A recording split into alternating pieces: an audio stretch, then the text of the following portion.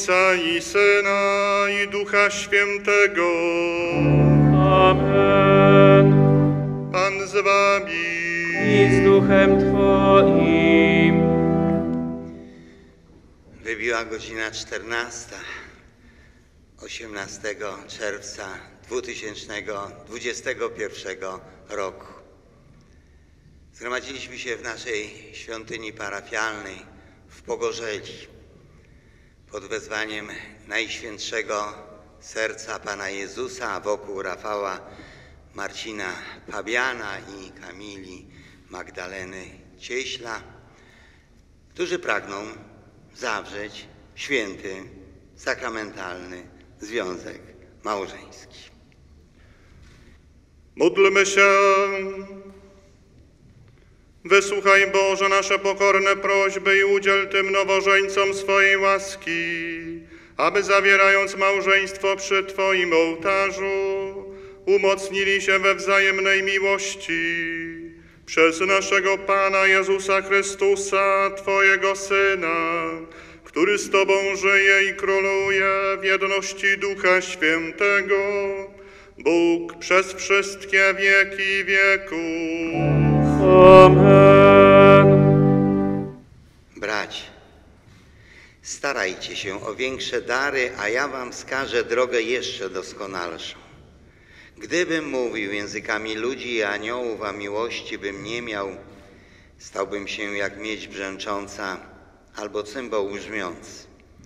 Gdybym też miał dar prorokowania i znał wszystkie tajemnice i posiadał wszelką wiedzę i wszelką możliwą wiarę, tak iżbym góry przenosił, a miłości bym nie miał, byłbym niczym. I gdybym rozdał na jałmużnę całą majętność moją, a ciało wystawił na spalenie, lecz miłości bym nie miał, nic bym nie zyskał. Miłość cierpliwa jest, łaskawa jest. Miłość nie zazdrości, nie szuka poklasku, nie unosi się pychą, nie dopuszcza się bez wstydu, nie szuka swego, nie unosi się gniewem, nie pamięta złego, nie cieszy się z niesprawiedliwości, lecz współweseli się z prawdą. Wszystko znosi, wszystkiemu wierzy, we wszystkim pokłada nadziei. Wszystko przetrzyma.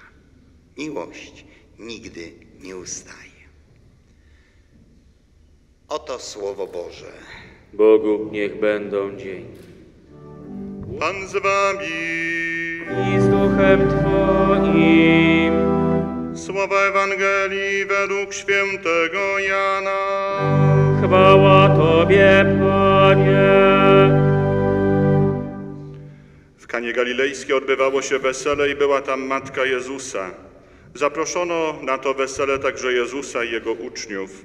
A kiedy zabrakło wina, matka Jezusa mówi do niego: Nie mają już wina. Jezus jej odpowiedział: Czyż to moja lub twoja sprawa, niewiasto? Czyż jeszcze nie nadeszła godzina moja? Wtedy matka jego powiedziała do sług: Zróbcie wszystko, cokolwiek wam powie. Stało zaś tam sześć stągwi kamiennych przeznaczonych do żydowskich oczyszczeń, z których każda mogła pomieścić dwie lub trzy miary. Rzekł do nich Jezus: Napełnijcie stągwie wodą. I napełnili je aż po brzegi. A potem do nich powiedział: Zaczerpnijcie teraz i zanieście staroście weselnemu. Oni zaś zanieśli. A gdy starosta weselny skosztował wodę, która stała się winem, nie wiedział bowiem skąd ono pochodzi, ale słudzy, którzy czerpali wodę, wiedzieli, przywołał pana młodego i powiedział do niego: Każdy człowiek stawia najpierw dobre wino, a gdy się napiją, wówczas gorsze. Ty zachowałeś dobre wino aż do tej pory. Taki to początek znaków uczynił Jezus w Kanie Galilejskiej. Objawił swoją chwałę i uwierzyli w Niego Jego uczniowie. Oto słowo Pańskie. Chwała Tobie, Chryste.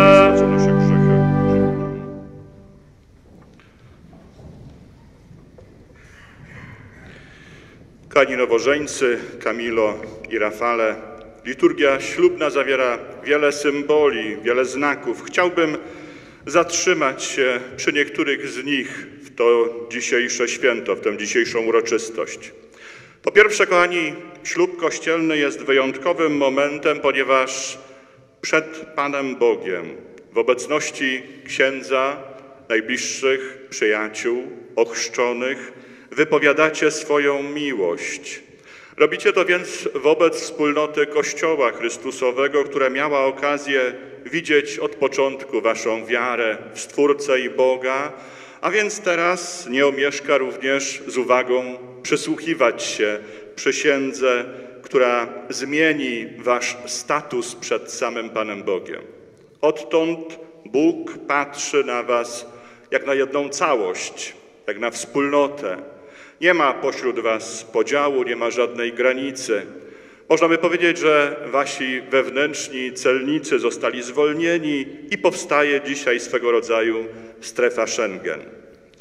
Kochani, na znak tego przed samą przysięgą podacie sobie prawe dłonie.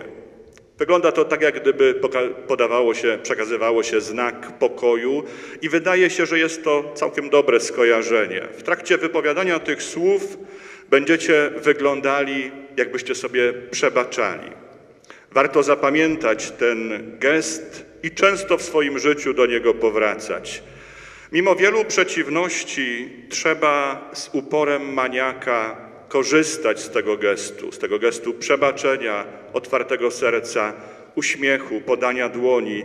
Na pewno przyda się on na całe wasze małżeńskie życie. Nieraz przyjdą trudne emocje, nieraz pewnie przyjdzie i chęć odwrócenia się na pięcie i pójścia w swoją, swoją stronę.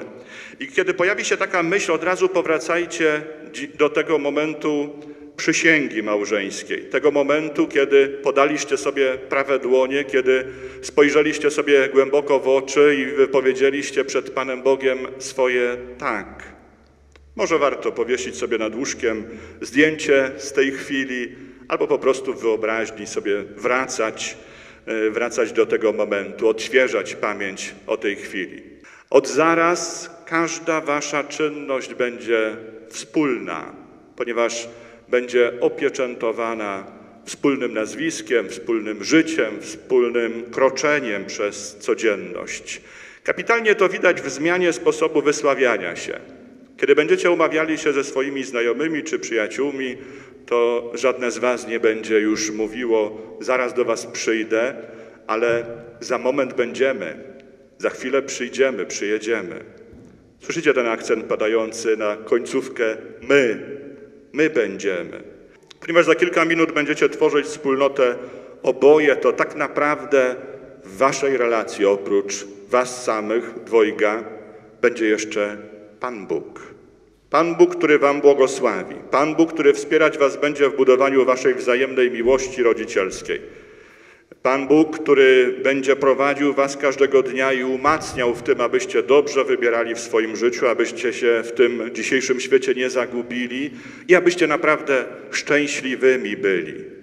Otwórzcie się zatem na Niego i zapraszajcie Go każdego dnia do waszego życia.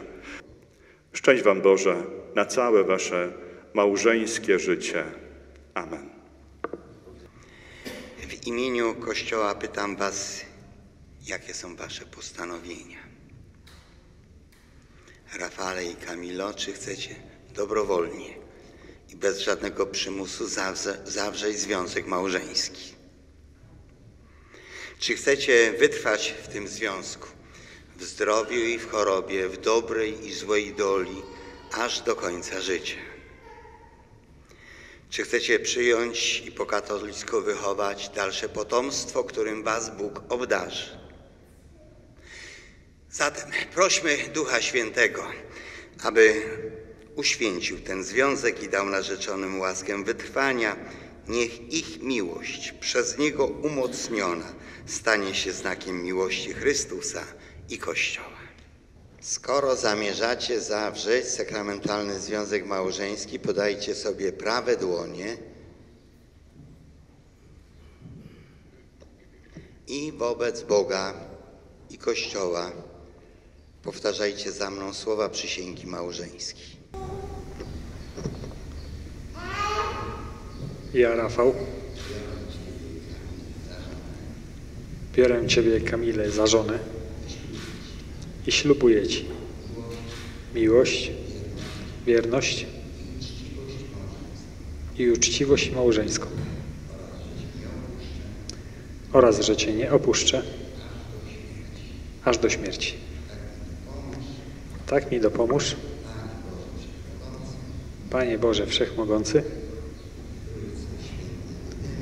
w Trójcy Świętej Jedyny i wszyscy święci. Ja, Kamila, biorę Ciebie, Rafała, za męża i ślubuję Ci miłość, wierność i uczciwość małżeńską oraz, że Cię nie opuszczę aż do śmierci. Tak mi dopomóż, Panie Boże Wszechmogący, w Trójcy Jedyny i wszyscy święci. Co Bóg złączył, człowiek niech nie rozdziela. Małżeństwo przez Was zawarte, ja powagą Kościoła katolickiego potwierdzam i błogosławię w imię Ojca i Syna i Ducha Świętego. Amen. Niech Bóg pobłogosławi te obrączki, które macie sobie wzajemnie nałożyć jako znak miłości i wierności.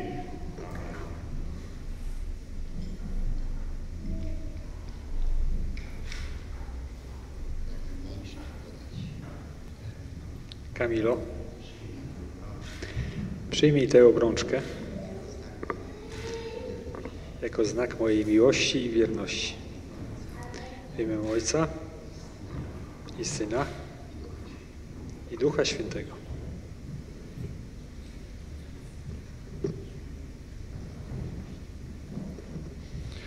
Rafale, przyjmij tę obrączkę. Przyjmij tę obrączkę jako znak mojej miłości i wierności w imię Ojca i Syna i Ducha Świętego.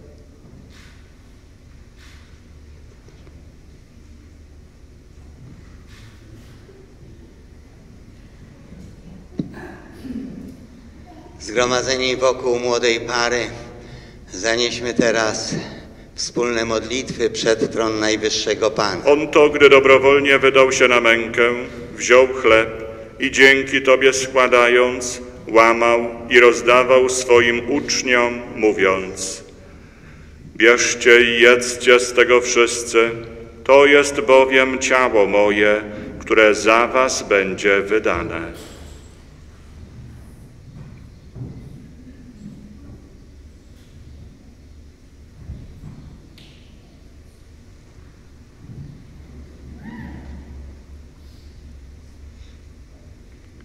Podobnie po wieczerzy wziął kielich i ponownie dzięki Tobie składając, podał swoim uczniom, mówiąc: Bierzcie i pijcie z niego wszyscy, to jest bowiem kielich krwi mojej, nowego i wiecznego przymierza, która za Was i za wielu będzie wylana na odpuszczenie grzechów. To czyńcie na moją pamiątkę.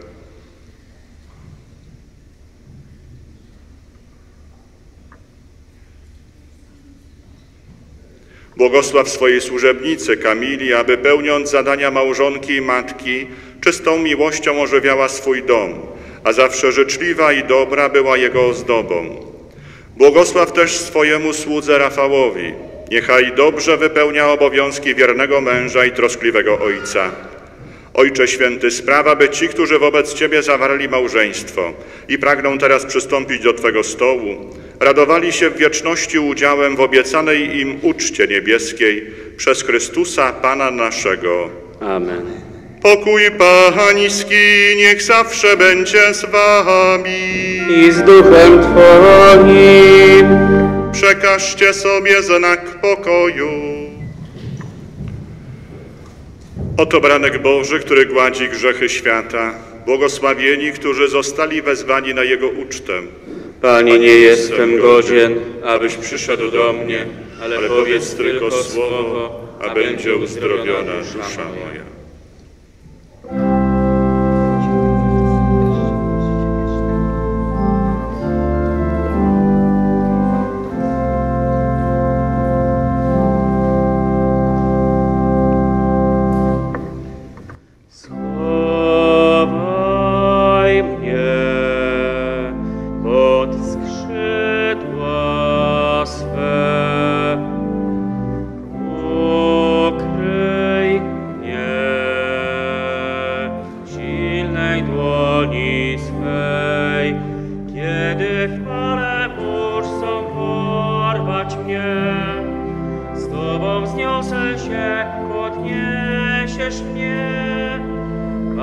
Królem Ty spienionych wód, ja ufam Ci, Ty jesteś Bóg. Módlmy się. Posileni przy Twoim stole prosimy Cię, Boże, aby Ci nowożeńcy złączeni przez sakrament małżeństwa wiernie trwali przy Tobie i głosili ludziom Twoje imię przez Chrystusa, Pana naszego. Amen. Pan z Wami. I z duchem Twoim. Bóg Ojciec Wszechmogący niech was napełni swoją radością i błogosławi wam i waszym dzieciom. Amen. Jednorodzony Syn Boży niech was wspomaga w dniach pomyślności i w chwilach doświadczeń. Amen. Duch Święty niech zawsze udziela waszym sercom swojej miłości. Amen. Was wszystkich tu zgromadzonych niech błogosławi Bóg Wszechmogący, Ojciec i Syn i Duch Święty. Idźcie w pokoju Chrystusa. Bogu niech będą dzięki.